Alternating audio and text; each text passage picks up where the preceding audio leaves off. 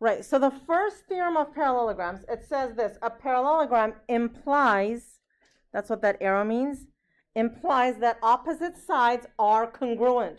So first we had said that the opposite sides are parallel, that was the definition. Now we're saying that the opposite sides are congruent. So this is congruent to that, this is congruent to that, okay? Next, a parallelogram implies that opposite angles are congruent.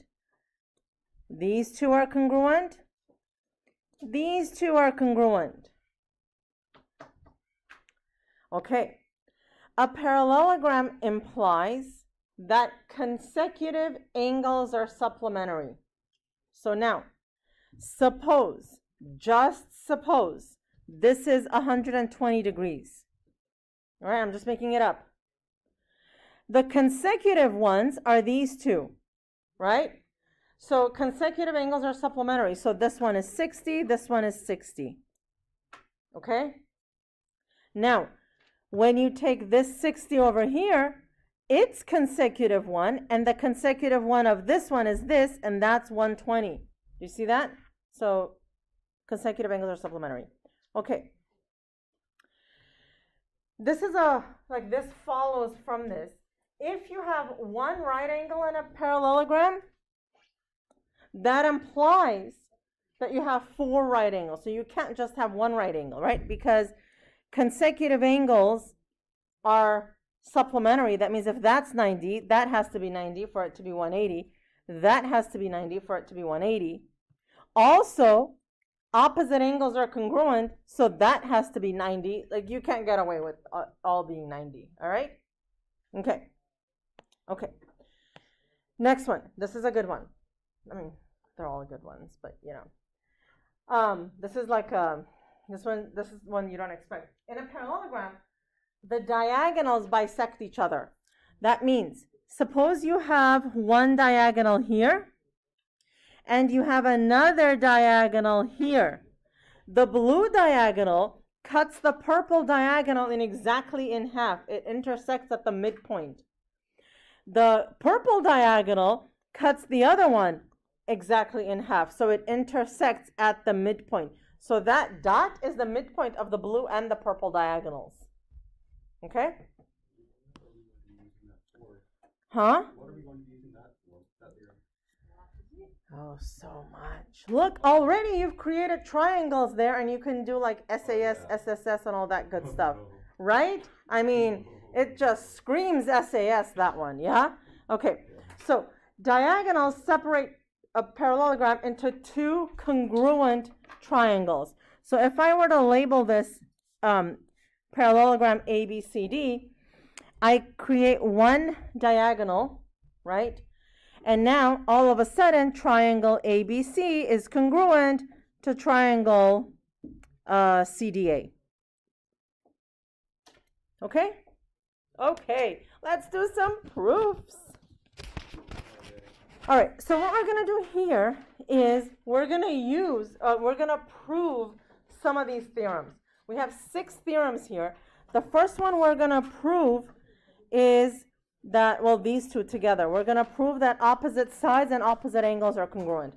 So since we're proving these theorems, I can't use those theorems in, in my proof, right? Um, but that's what we have to do. We have to prove that those theorems are correct. Okay, all right, let's do this. So what you're given is parallelogram ABCD. If you're told that you're given parallelogram ABCD, that means you know like the definition is true, the opposite sides are parallel, and so on and so forth. What you have to prove is that AB is congruent to CD, and you have to prove AD is congruent to BC, so the opposite sides are congruent, and A and C are congruent. All right, so let's do it. First, we say parallelogram ABCD given. And make your parallelogram look like a parallelogram. It's, it's like slanted. Okay, now, okay, what does it mean that you have a parallelogram? Definition should come first. The definition of a parallelogram is AB is parallel to DC and AD is parallel to BC. This is the definition of a parallelogram. All right? And you can definitely use that symbol for a parallelogram. Okay, now I'm going to do something and you're going to be like, what? How was I supposed to know to do that? And the answer is, you weren't supposed to. I'm telling you now how to do it. The way we do this is we draw a diagonal and use that to create two triangles. So now we can use the triangle congruence theorems, and by CPCTC, we can say that these two are congruent, these two are congruent, and the angles are congruent. All right? So, we already know that these two are parallel, and these two are parallel. All right? What that means is there have to be some alternate interior angles here that are congruent, correct? So this one is congruent to this one, angle ABD is congruent to angle BDC. Okay? But also, angle DBC, sorry, I confused myself there, is congruent to angle ADB. So the reason for this is alternate interior angles theorem. Okay? So what we have now is a pair of angles that are congruent. And we have another pair of angles congruent. What else can we say here? Yeah. DB is congruent to DB. Yep. See how it, how it just comes back to you? Reflexive. So this is also congruent. Okay, now I have ASA here, correct? So I can say triangle ABD is congruent to triangle CDB ASA. I know.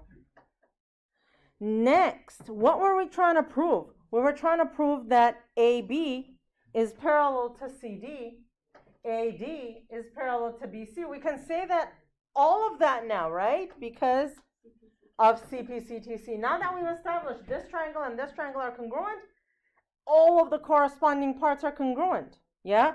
So part six, we can say AB congruent to CD, AD, I wrote that wrong, BC, and then angle A congruent to angle C, lump them all under one CPCTC, right? So there you go. That's how we proved the first two theorems of parallelograms, all right? Okay, so questions? Yes, no, maybe, no, yes, okay. All right, so next we're going to prove the theorem that a parallelogram implies diagonals bisect each other. All right? Um, so let's draw a diagonal. So those are the diagonals. So we have here the given is triangle, um, what do we call it? Parallelogram ABCD. So we're going to write the given. Okay? I'm going to be lazy and not write it. All right? I'm going to use my one lazy pass. Okay. Two. Okay. What we need to prove is, and these all need segment bars. Whew, minus one right there for me. Okay, so we need to prove AE and EC are congruent. BE and ED are congruent. Again, triangles. Okay? So if it's this and this, and then these two, right? So it's enough that I prove some of the triangles congruent.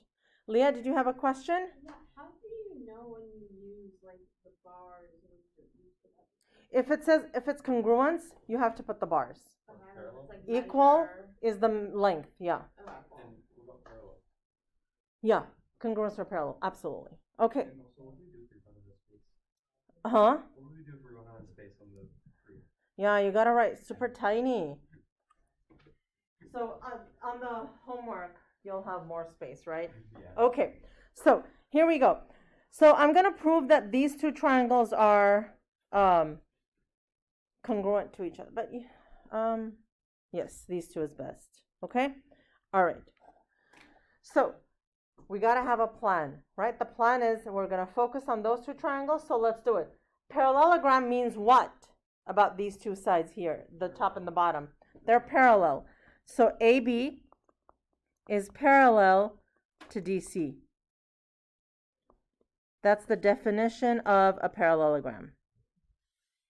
Okay. And even A instead of Yes, but right now I'm just going to focus on these two triangles, so I'm going to sort of ignore the other sides. That would be extra information, although it's true. Okay? All right, next, let's say this and this are congruent, right? So that's angle BAE and angle ECD.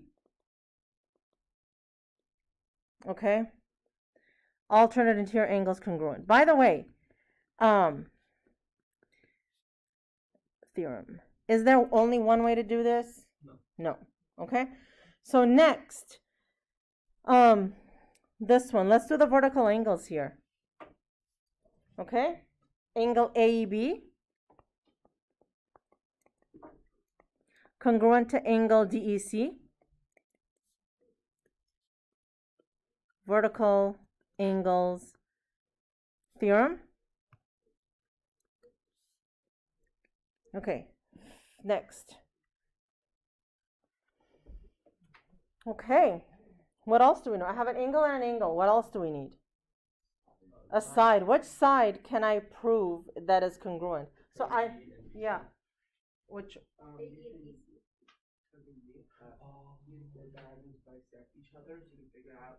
so the, the diagonals bisect each other, so you can figure out that A. so that's what we're proving. So we're not gonna touch this, but we can, we can show, yeah. Oh, um, A B DC DC and A B. Right, AB and DC are congruent. Why? Because that's a, well, it's not the definition, it's a theorem. It's one of the theorems. And because we're, we're proving this theorem, we're not proving this theorem, we can use that one. Okay? Do we just write it out? Yeah. Well, you can just say this. You can just say it as, uh, you can write it as I've done it. Like a parallelogram implies opposite sides congruent. Okay? So now I've got AAS. So I can say in number six, triangle AEB is congruent to triangle CED by AAS. Okay? And now I can prove that AE is congruent to EC, BE to ED, CPCTC. Do you see it? Are you getting the hang of it a little? Understanding it? Okay. You'll write it as fast as you do. so- Yeah, I know. All right, I'll give you, I'll give you a few seconds here.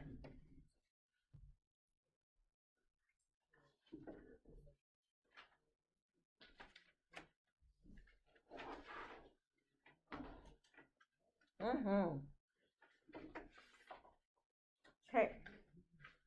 By the way, have you heard of this new Wordle game? Well, my mom mentioned to his morning. Huh? My mom my mom Oh my God, We're not so- My children and I are hooked, and so like every day, like we wait for this Wordle to come out. Wait, is there a And- reason why like number four was in the color? Huh? Is there a reason why number four was in the color? I did it in a different color because I wanted to highlight the difference in the, yeah. So it's basically like every day there's like a new um, five letter word. The word and then like it'll show if it's like green or Yeah. You you have to guess a word, and if you get the right, it's so cool. I love it, and like it. The the the good thing about it is like because it's like one a day. It's like you like you anticipate, right? It's like okay, let's see what the next one's gonna be, you know. And you can't go back. You can't. It's like it's like you can't go back to the old ones. All right. So here we go. Um, I have okay. So this one is a much shorter proof. Okay, this is like a it's like a famous diagram. I don't know. It's it's just, it's like everywhere, right? Some of these proofs, right? They're just like they're everywhere, you know. And it's like you see it, and it's like, oh yeah, yeah, yeah, that one, uh huh. Like the triangle with the parallelogram in there. Okay, so you're given parallelogram x, y, r, z, and okay, Elijah, I gave you a bigger space here. Okay, thank you. Yeah. X, Y, R, Z. And WZ is congruent to WS. So this whole side here, let me highlight that. This whole side is congruent to this whole side. Yeah? Yeah, Leah? No. Well, let's see what we have to prove. We have to prove angle XYR is congruent to angle S. Oh boy. I thought so. Okay. Okay. Yeah. No, I'm excited for this one. Okay, so Aaron is okay. Yes. Well, I was just gonna like say what you have, yeah, what the steps are. Okay, so I'm still like- we have to we have to compare this angle to that angle, right? We're given the two sides. So Aaron found a way to link what we're given to what we need. We're given the two sides, we need to link it to that angle. And you can see that this big triangle is an isosceles triangle because the triangle because the sides are congruent. So you can say angle Z is congruent to angle S. Why? Yes. Isosceles triangle theorem. Okay. All right, Harrison. Oh, so then you have to do um x y r is congruent to go to x to angle z. Yes, And why? Because um opposite angles like parallelogram implies that. Correct. Okay, so yup. So this and this are congruent, right? So we said that the two angles at the bottom were congruent. Now we also know that in a parallelogram, opposite angles are congruent. So angle Z is congruent to angle XYR because a parallelogram implies opposite angles are congruent. And now, if S is congruent to Z and Z is congruent to XYR, then S is congruent to XYR. Why? Not CPCTC. That's the triangle one. Oh. Transitive. Fabulous. It's the other one.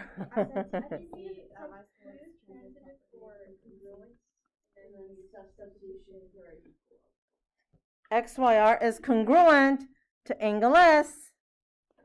Transitive. Um, so at my school we did like a lot of the for like transitive property. We have parallelogram QRST. All right, so SV, this one, is congruent to what? Yeah. VQ, Y, Go back real quick. uh huh. Yep. So parallelogram implies diagonals bisect each other. All right. So I'm going to call on some people for the next few. All right. So raise your hand if you want to be called first. Angle SRQ. So let's see where SRQ is. SRQ is congruent to what other angle? All right, Harrison, I think I saw your go up first. Um, STQ. STQY, Uh, parallelogram implies that opposite angles are congruent. right.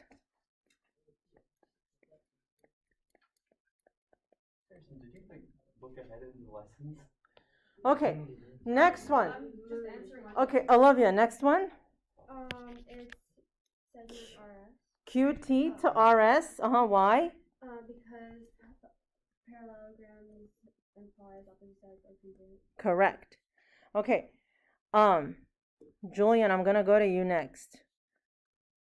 All right. So what do you think? Triangle SRQ.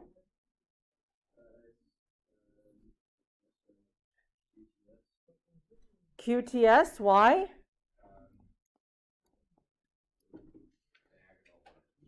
Yep, yep, it's, yep. Tell me which one.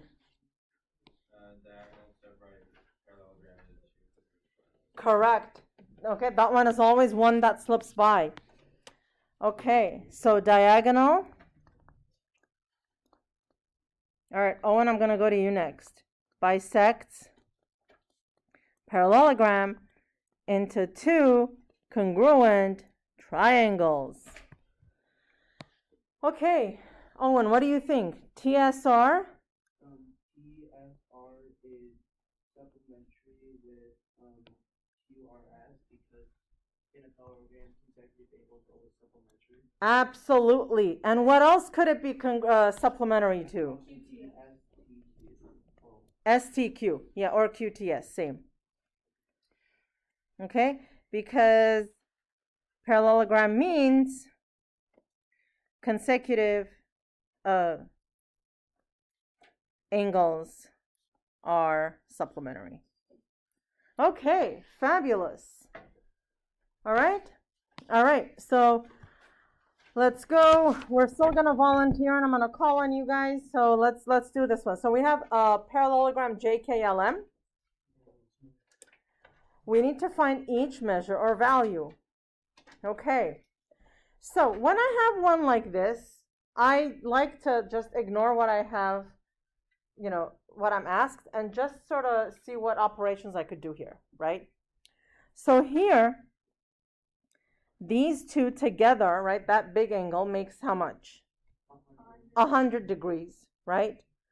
So, um, what do I know about this one, this whole thing? It's 80 degrees, right?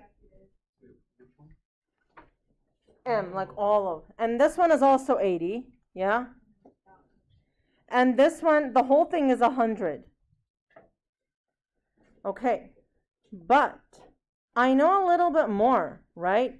I know a little bit more because I know that, look, look at this. This side is parallel to this side, correct? Okay, throwback now, all the way to the first, like, two chapters. And this is a transversal, okay? So what do I know about this angle and this angle? They're congruent to each other. They're alternate interior angles. So I know that that little itty bitty angle over there is 30. And I know that this is 70. Do you see that? Okay? Huh? 80 is because this one and this one are consecutive angles and they are supplementary in a parallelogram. So if you, here, if we just focus on the parallelogram itself, this parallelogram, okay? These two angles are supplementary to each other. So if this is 100, that's 80. Okay, that's one of the theorems. Okay, so let's see what we've got here. Okay, what else do we know? What do we know about the sides? What do I know about this side at top on the top and this at the bottom? They're the same, As we can grow to each other. right? So 2b plus 3 is equal to 45. So 2b is 42, b is 21. Okay. And I know that the two sides on the side are congruent. So 3a is 21, a is 7. Okay. Okay, let's see what this question is asking us. Angle MJK. MJK. Rihanna, what do you think? MJK, this one. The highlighted one here. Oh. MJK is how much? would be a hundred Uh, uh-huh. it's opposite of KLM. Absolutely, 100. Okay, so Grayson, what do you think about the next one? JML, 80. All right. Lexi, how about angle JKL? Yeah, how, JKL, this one. JKL. 80. We just did uh, JML. All right, what about KJL? Yeah.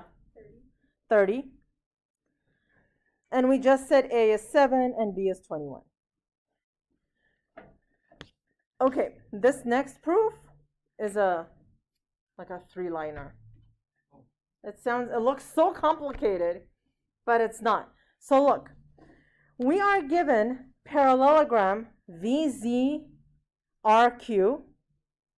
So this one, VZRQ,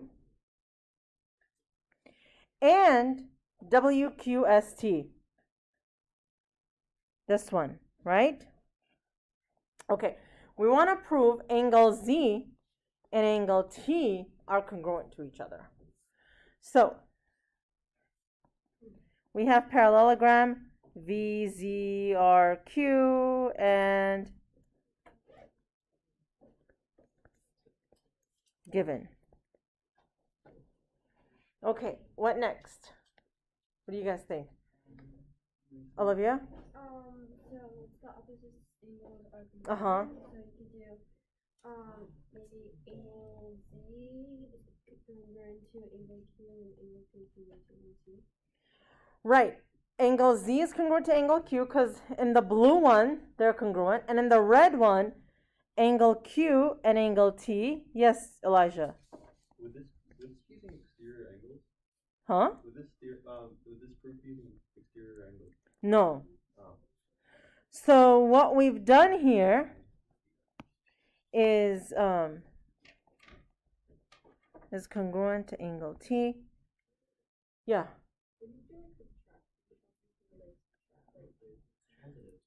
It's just transitive now, right? So now we can say angle Z is congruent to angle T, transitive. Okay? Okay, so do you see how, um, like here, for example, things we've done way in the past, right, merge so well with things that we're doing right now, today, right? And so, like ASA, this reflexive, like reflexive property we learned chapters ago, right? But then it shows up here along with ASA and CPCTC and this new parallelogram theorem, and together you can prove so many different things now, right? So do you see how like the possibilities now are just sort of like adding up, right? So um so much, so much you could do with so little, right? Okay, so here's where we end. Um now yeah, give me one second. So um in the next lesson, we're gonna go like backwards. We're gonna do the converses of all of these. And then just to show you, and then in um, in the next few lessons, we have similar properties for each of the other shapes. So we're gonna have, um, you know, a rectangle is gonna have its own list of properties. A square is gonna have its own list. A rhombus is gonna have its own list, and you know, in a parallelogram, diagonals do this. In a rhombus, diagonals do that. And it's very, very easy for things to get crossed in our minds if we haven't taken the time to learn them day by day. Okay? All right, so I will stop here.